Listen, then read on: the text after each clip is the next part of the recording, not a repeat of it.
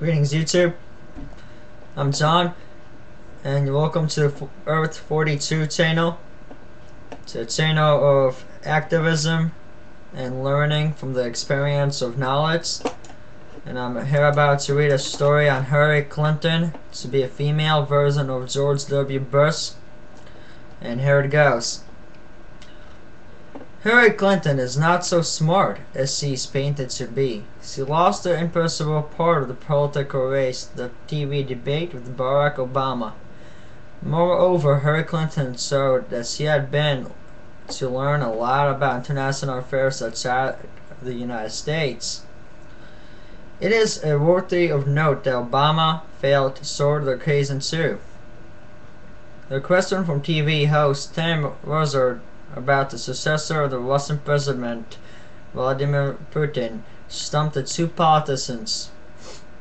Hillary Clinton attempted to come out clean of the confusing situation with the help of a strict pauses. I can tell you that he's a hand-picked successor, that he's someone who's obviously being installed by Putin, who Putin can control, who has very little independence, he said. Well, you know what, Hillary? I think you're just ridiculous on cocaine. this is a, a, clever but transparent way to put Putin to hold on to power, and it raises serious issues about how we're going to deal with Russians going forward. Clinton continued. If Clinton becomes elected president of the United States, he'll just have meetings with a person who only takes the position of Russia's president where Putin will be the person to make all the decisions, as he put it. Not true. When the TV host asked his simple question about the name of Putin's successor, Clinton had to struggle to get it out. Med. Um, Medvedev, whatever, she finally said. You know what, Harry? If you're not interested in with the second world country's largest country's president, then why should you be the president of the United States? When the United States is the superpower, when you have no interest but your cocaine. Okay. And when was uh, when the TV host asked his simple question about the name of Britain's successor, Clinton had to struggle to get it out, and she really did, if you think about it. When Russert addressed to Clinton, uh, opening with the same question, he was apparently expecting a more detailed and intelligible answer. However, Obama did not justify expectations. He at first criticized Bush's attitude towards Russia, which is good, Obama. Bush then proceeded to neglect our relationship with Russia at the time when Putin was standing any position in the country. When he was consolidating power, taking power, rating sabers against his European neighbors, as well as satellites of the former Soviet Union, Obama said, Uh, that's true, Obama. Uh, I agree. He said Medvedev, the next successor of Russia, is somebody who was handpicked by Putin. Putin has very clever. He's he's a man that will continue to have the strongest hand in Russia in terms of running the government, Obama said, and that's true.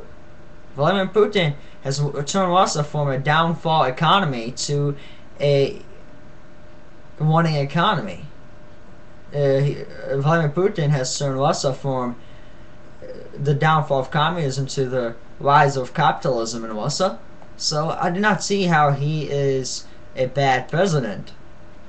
Experts internationally concluded that the TV debate showed Obama's advantage over Clinton, despite the confusing movement with the name of the Russian presidential successor.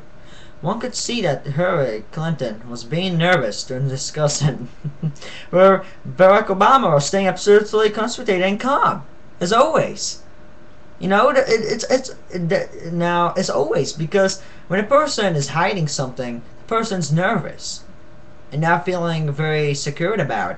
Now, now unlike a person who knows uh, what it is and is being honest to himself and honest to the people, it's the person's probably nervous or not. It depends if the person's shy or not. But if you look at somebody's eyes, you know if the person is lying. You look at Hillary Clinton, she thinks she's psycho, which I do, in my perspective. Don't get me wrong. She might be the wife of Bill Clinton, and she was a good president. But his wife is a cocaine crackhead. Nothing uh, else to say. I'm sorry if any females get gets mad at me. But look at a biography. See, and Mr. Bill Clinton, they did a lot of, and still do, cocaine and black market business. And I don't like that. Who does? Thank you. And I advise everybody to check out pravda.ru. It's a great news agency, just like BBC News. Goodbye. Thank you. Come on, YouTube.